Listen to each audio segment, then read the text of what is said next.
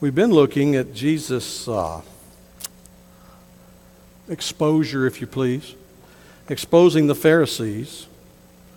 And in his doing that, warning ourselves, warning let's not be Pharisees because there is a Pharisee living in every heart, dying to get out, dying to judge, dying to set up external religion and make it count for internal spirituality.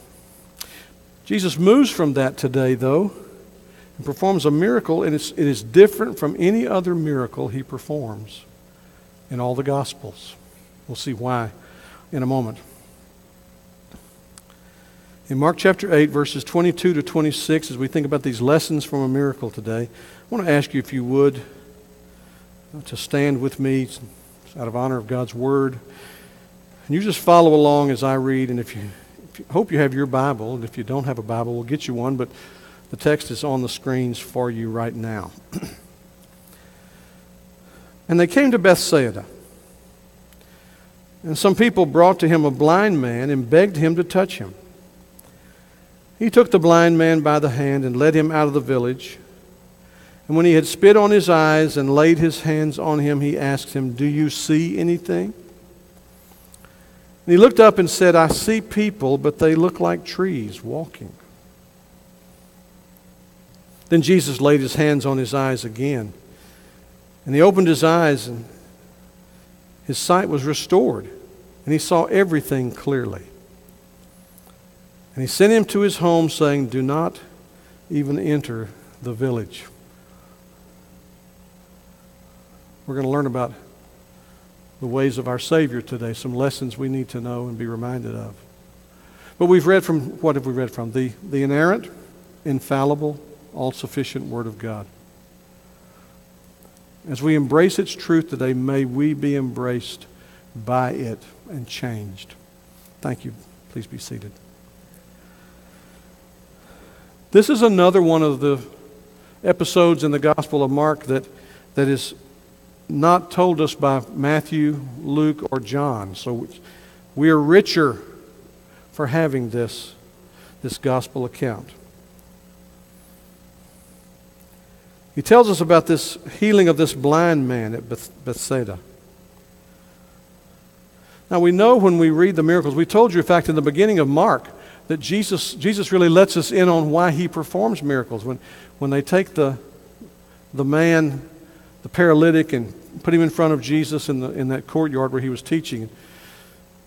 Jesus says, But that you may know that the Son of Man has power on earth to forgive sins, I say to you, speaking to the man on the mat, rise, take up your bed, and walk. Now, his argument was, I'm going to show you something tangible to help you understand the intangible, the spiritual, my authority to forgive sins.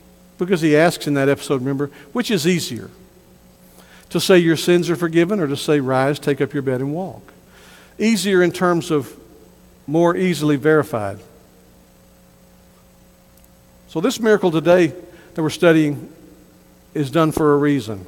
And I really believe it's, it's preparatory to what we're going to be studying in the next section, Mark's account of the confession of faith in Christ at Caesarea Philippi. We'll be looking at that later. Because what you're going to see is that the disciples have been with him and they haven't really seen things clearly. So let's learn from this, this miracle. Let's learn the gospel truths. And what makes this miracle unique is that this man is healed gradually by degrees. In no other miracle will you find that in the New Testament, in, in, in the ministry of Jesus. And I believe it's a picture of the way that God saves sinners by the almighty power and grace of His Holy Spirit. So let's look at what this, I want you to unpack it with me today under these five headings. First of all, friends bring a blind man to Jesus, and we, we're going to learn in that a lesson in evangelism. Secondly, that Jesus removes the man from his familiar surroundings, a lesson in separation. Third, the man receives sight, but not full sight, a lesson in God's sovereignty in dealing with sinners. Fourth, the man receives full sight. That's a lesson in Jesus' mercy. And then fifth, Jesus makes this strange request. It's a lesson in judgment. Look at the first one with me, if you will. These friends bring a blind man to Jesus. Teaches us about evangelism. Look, it says, and they came to Bethsaida. I was talking about Jesus and the apostles now arriving there. They've been traveling back and forth across the lake, remember? And some people brought to him a blind man and begged him to touch him. That is so powerful. They were genuinely concerned about their friend. They wanted their friend to see. They believed that Jesus could make him see. Essentially, we have nothing here to lead us to believe that this man instigated this at all. He's blind. I mean, it'd be difficult to resist. He goes along with them. Maybe, I'm sure deep down in his heart, he wanted to see. But here we want to see the focus is on the friends. They brought him to Jesus and they begged Jesus to touch him. You know, we, we ebb and flow, don't we, in our, we might call evangelistic zeal, evangelistic passion. There are times when we have an, we're in earnest. We can hardly talk about someone we want to see come to Christ without, without tearing up, without choking up. But it's interesting when that doesn't happen immediately or it doesn't happen in the, in the short term, we can sometimes lose our zeal, lose our fervor, lose our passion. Almost as if we have resigned to what, what some would call a hyper Calvinistic position. Well, God's going to save him, he's going to be saved. If he's not, there's nothing I can do. That's, you don't see that at all in the scripture. In fact, you read this account, and as I cited earlier, my mind goes back to the courtyard. When we looked at that in, earlier in Mark, where the men came with, the, with a mat and they said, We've got to get our friend before Jesus. He's, he's paralyzed, but if Jesus will touch him, he'll be made whole. And they get there, and the crowd is so great, they can't even get close. They can't get in the courtyard. And some would have turned and gone away at that point, but, but they hatched this idea. It's a, it's a destructive idea to the homeowner they go up and tear back shingles off the roof, they pull back the matting. So they finally have a, a way that they can drop this man in front of Jesus. It was very distracting to the Bible study he was doing. They desperately wanted their friend to be made whole. Here we have a similar situation. They begged Jesus to touch him. You can almost hear their cries of compassion. Master, we, we've heard great things about you. We've, your, your miracle ministry precedes you. Please, please, please give our friend sight. Brothers and sisters, never be ashamed to weep over those you want to see saved. And never forget that you and I know people who are not converted. We must not be content to let them live their lives and just go on to hell. We must not. There's a promise in the Word that if we go forth weeping, bearing precious seed, that the gospel seed picture there, we will come again rejoicing, bringing our sheaves, bringing the fruit of our labor with us, bringing the fruit of our tears they begged him. They begged Jesus to touch him.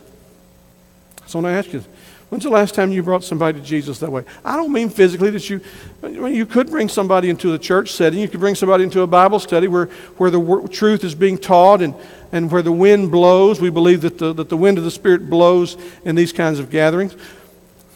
It could be that, but I'm talking about in your heart. When's the last time in your heart that you, you begged Jesus to save somebody that you know is perishing. There's a lesson here for us in evangelism. You shouldn't, we shouldn't have to have a Monday night evangelism time scheduled for us to do evangelism. It ought to be the outflow of our lives. So the first thing we learn is compassionate evangelism. Share the gospel with them. Pray. Pray, oh God, I've put I've set gospel seed. I've put the story of Jesus before them. I've told them Jesus showed his love for sinners by coming and living and dying and rising from the grave. I've told them that, Lord. I've told them and of their need to trust him and of the promise he gives that, that whoever comes to him, he will turn away none who come to him. And then you, you water that with your prayerful tears. Lord, save this person. Take what they know, take what they've heard growing, what they hear from family and friends around them, and make the gospel effectual in their lives so that they cry out for sin and faith in you and trust Jesus Christ to be their Lord and Savior. That's, that's what we see here. And it's an admonition to us to be the same way. The second thing we see is that Jesus removes the man from his familiar surroundings. You see, the touch that Jesus is going to give this man is not just a touch along the way. You're going to see in a little while why he draws him aside in a few minutes here. The verse says in verse 1 He took the blind man by the hand. That, that had to thrill this man. This man cannot see. His friends are telling him what they're going to do. We're going to take you to Jesus, the rabbi. He heals people. And the man's, you've got to get yourself, he, he's wondering can it be true? Will I really, will I even get to meet him? I've, I've, I've heard that the crowds that press around him make it almost impossible to get close. What do you think when Jesus took this man by the hand. He makes it personal. Just like he made it personal when he saved you and me. He doesn't save in mass. I promise you, every one of the people saved on the day of Pentecost sensed it personally. They weren't part of, part of, a movement, they were part of a saving encounter with the risen Jesus Christ. And so he takes him by the hand and he leads him out of the village.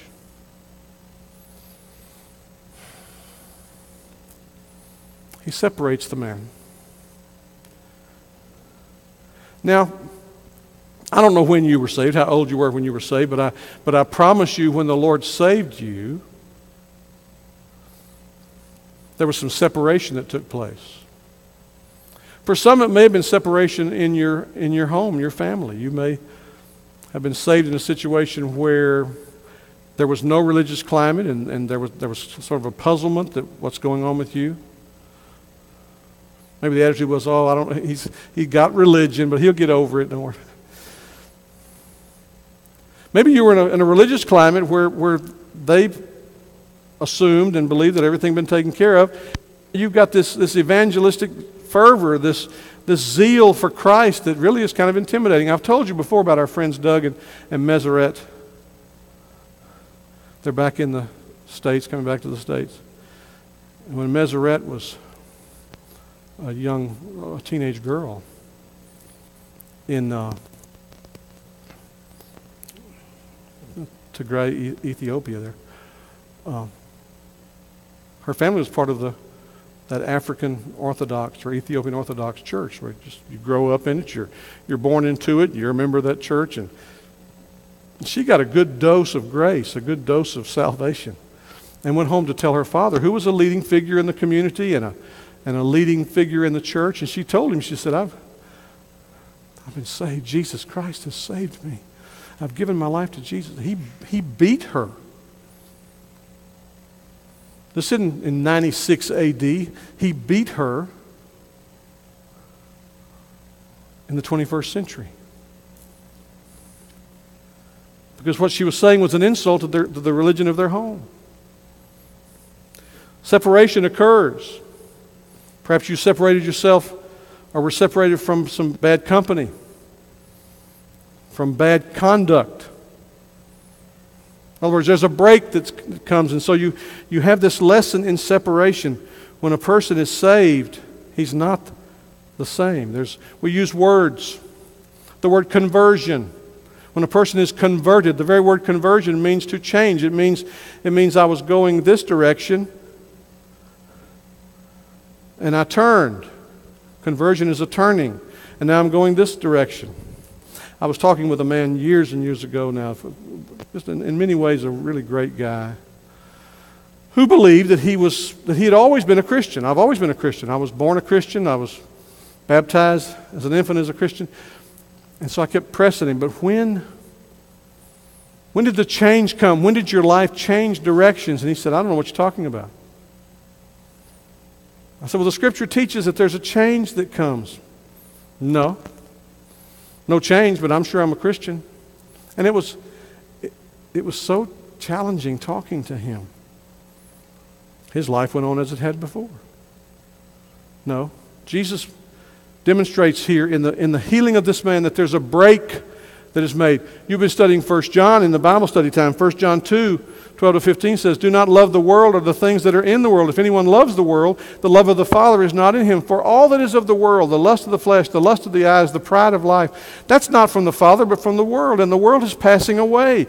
And those kind of lusts are passing away with it. But he who is doing the will of God, practicing the will of God, making that break and living differently, is abiding forever. That's John teaches that. About the break that comes. There's a lesson in separation. Look at the third thing here. This man received sight, but not full sight. This is a, lesson in God's sovereign prerogative. A good friend of mine years ago was telling me about the way he had been converted. And it was, pretty, it was a pretty drastic, pretty dramatic occurrence. He worked for one of the plants in Baton Rouge. His life, he, he had a, he had a father in law that was praying for him, and he was not being a good husband to his wife. His wife loved the Lord, and he didn't really care much for that. But it began to eat on him. And he was telling me his story. He said at a certain night, he was in the, in the shack, the part of the plant where he worked. He was part of the security there. He said he walked out, he said just got so miserable, walked outside the shack, dropped on his knees during that midnight shift and just cried out, I, I give up. I give up. I'm yours, Jesus. You, you can have me. I'm, I'm sorry. It was a powerful conversion and radical change. I mean, radical change. And he was telling me this. He was the, actually the chairman of deacons at, at the church there in Clinton where I was serving. And then he, then, then he did this. He superimposed his experience on everyone else. And if somebody had not had that kind of a dramatic uh, Damascus Road experience, then he didn't believe they were converted. I told him, I said, You cannot make your conversion experience everybody else's because God is sovereign. He saved some at a young age, tender little children. Some he saves at an older age. But he is sovereign in this subject of salvation. And Jesus shows this in this miracle if we'll look at it right. Because he doesn't do this any other time in any one of the four Gospels. Everywhere else, Lazarus, come forth. A dead man comes out of the tomb. Little girl arise. A dead girl rises up on her, on her deathbed. Stand up and walk. The man gets up and leaps and runs away. Stretch out your hand, healed. Open your eyes. We, in blind Bartimaeus, we read that passage. Opens his eyes. But here it's different. Jesus had asked him, Do you see anything? After he, after he takes the, the, the spit and, and, and, and mud and forms it and rubs it over his eyes. He doesn't always do that. But he does so here. He applies means to emphasize something, to teach his disciples something. Remember, he's doing this in their presence before we have that next story, the next part of the narrative, where he asks them, Who do you say that I am? The man answers the question, Do you see anything? He said, I see people, but they look like trees walking.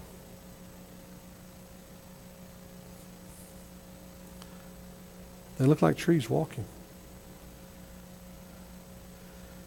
It's a gradual work that takes place here.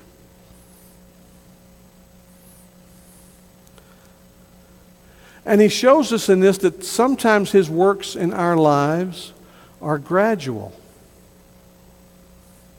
Now, theologians like to debate and fuss and fight and frustrate one another, saying, well, now is, is the new birth instantaneous or is it not? It can't be. Let the theologians debate that. All we're going to do is just gaze at the text and wonder. We're not going to try to make the Word of God fit somebody's theological presuppositions. We're going to let the Word of God shape our theological thoughts.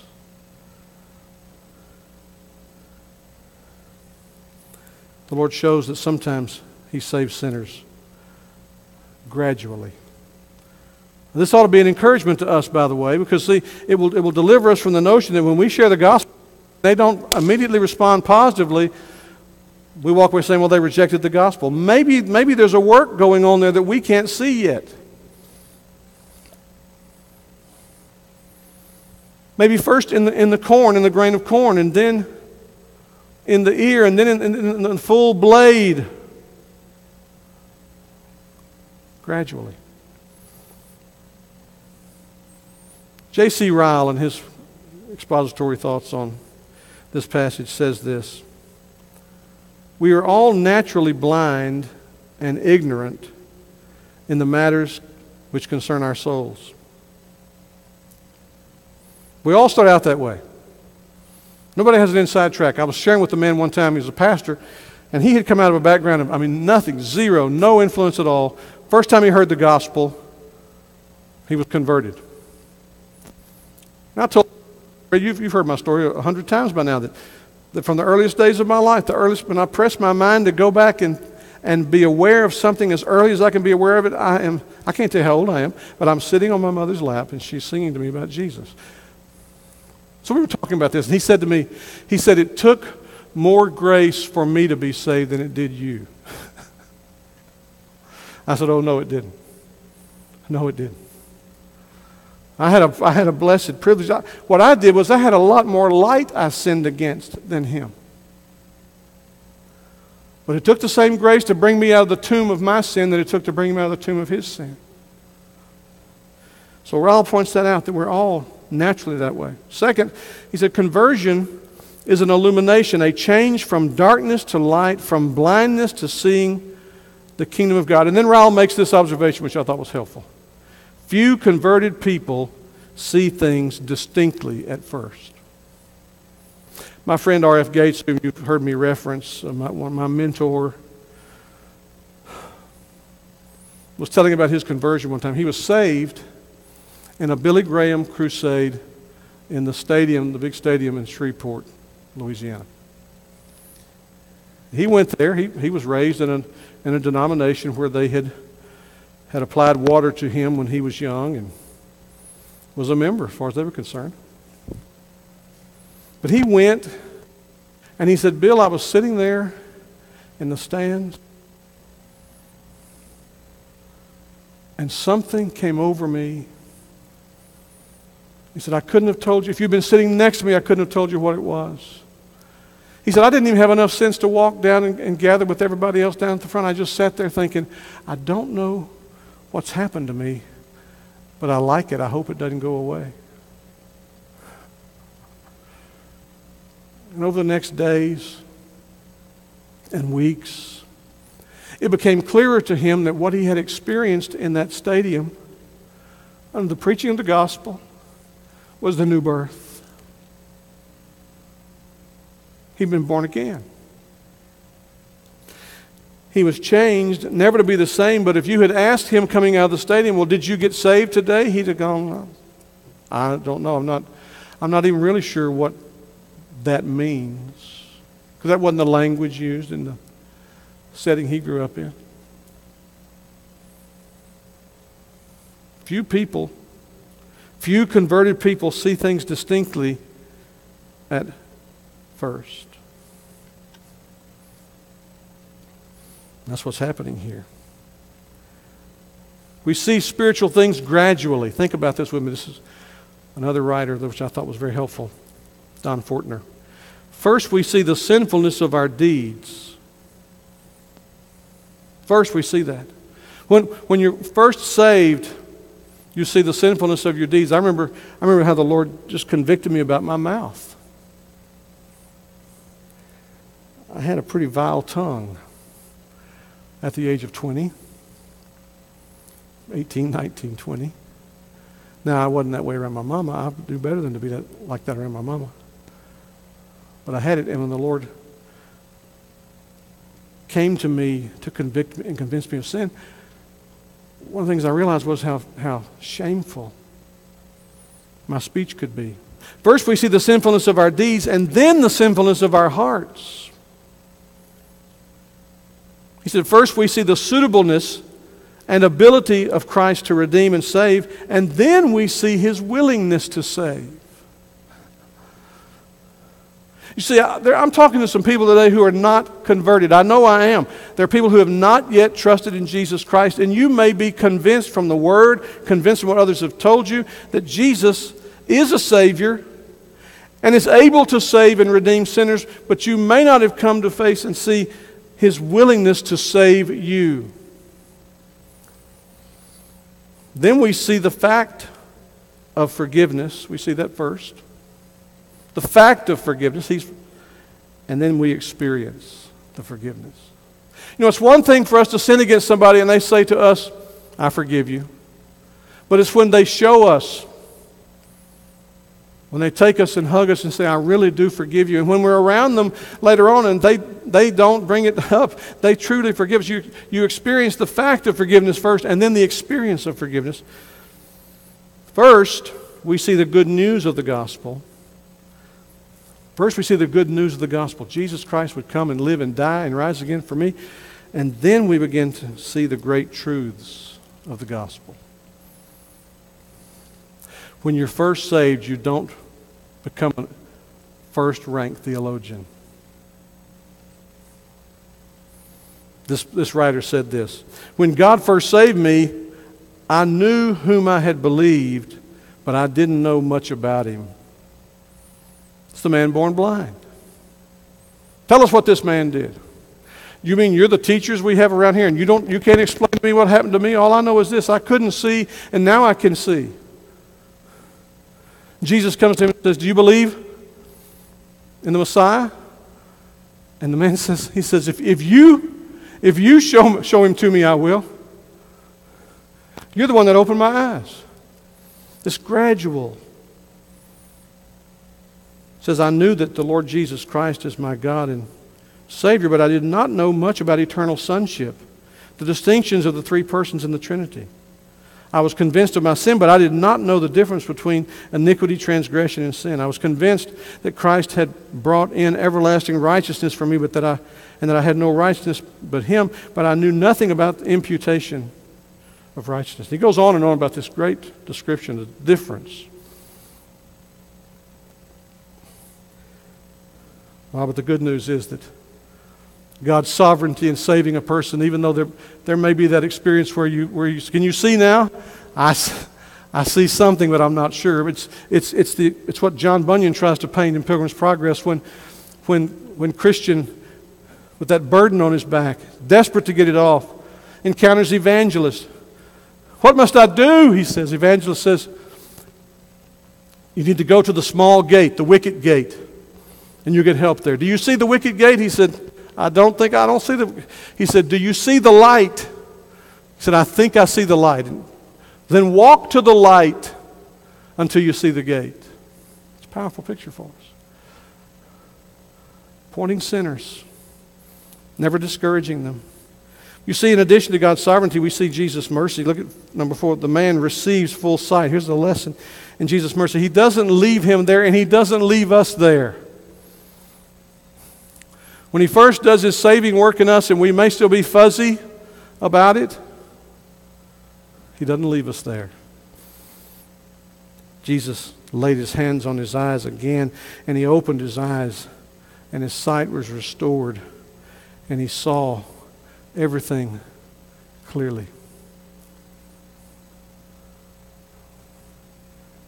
you you know that.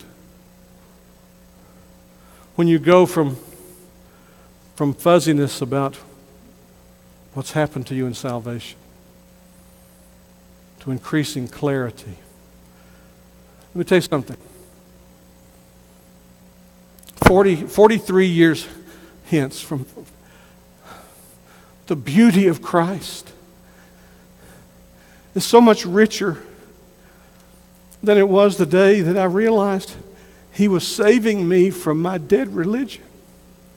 That was an awesome day, but, but today, the beauty of Christ, the preciousness of the doctrines of Christ. You see, it, it is true that the longer you serve Him, the sweeter He grows. You show me a Christian who's getting dull and finds the Christian life dull after years and decades, and I'll show you a person who is either neglecting the means of grace and is in a backward state or has never been converted at all because you, as, as we walk with the Lord in the light of His Word, what a glory He sheds on our way. Jesus him again, and he saw everything clearly.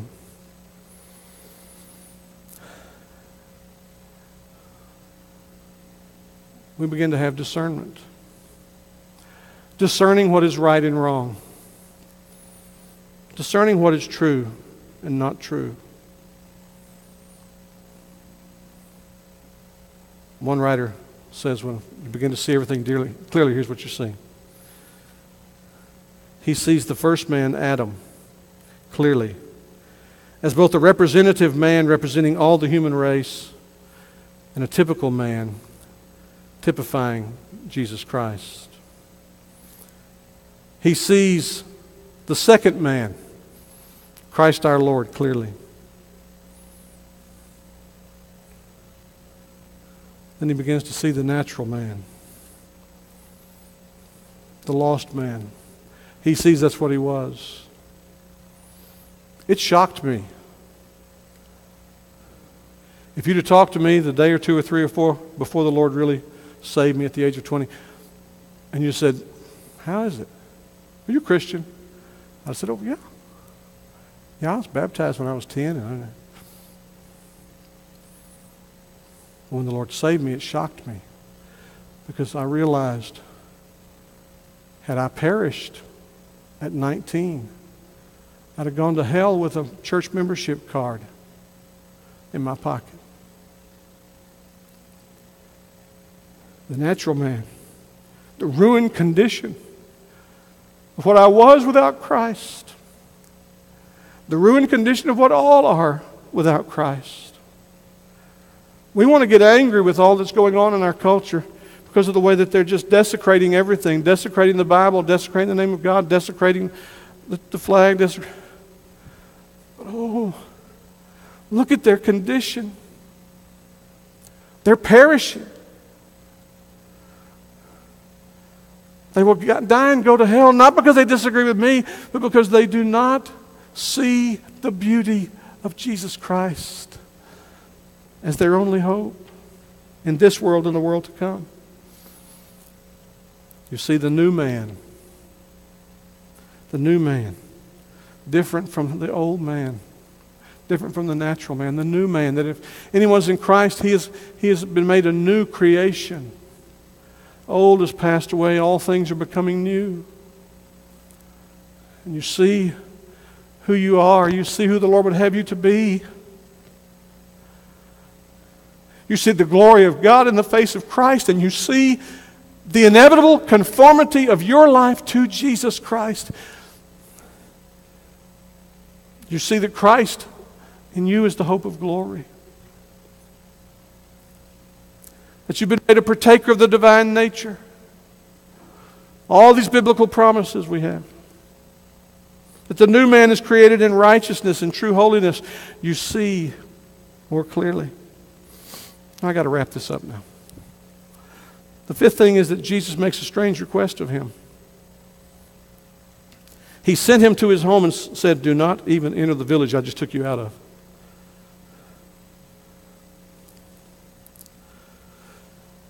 Bethsaida had rejected Jesus earlier. And Jesus saves a man out of it, but judgment is coming upon it. Matthew Henry said this Bethsaida, in the day of her visitation, would not know the things that belonged to her peace. In other words, he had, he had come to them, and they didn't want to know, wouldn't believe. And now they are hid from her eyes. They will not see, therefore they shall not see. He takes a blind man out of the Bethsaida, out into the wilderness, opens his eyes, tells him, Don't go back in there. I've opened your eyes to see. I'm not going to open theirs. You see, every, every act of salvation, every act of redemption also has a flip side of judgment upon it. Now, if I speak to anyone today who has, whose eyes are still darkened to Jesus, I say, oh, please, plead with him to save you. Don't be content in your blindness. Because if you, if you refuse to see him for who he is, then it may well be that in judgment you will not ever see him. Open your eyes. Say, I don't see anything, Lord. Give me light. Now, Lord, I, I see something, but I'm not sure what it is. I'll tell you what, if you, if you experience that, you're on your way to be, being saved because He will bring you to full sight. This miracle is different from any other, and it teaches us some things that we need to learn about ourselves and about salvation and about judgment so that when he asks his disciples, who do, who do men say that I am? And who do you say that I am? And he asks us, Who do you say that I am? We can answer honestly from the heart and the mind. You are the Christ, the Son of the living God. You are the Savior who saves me and who will save others. Let's pray.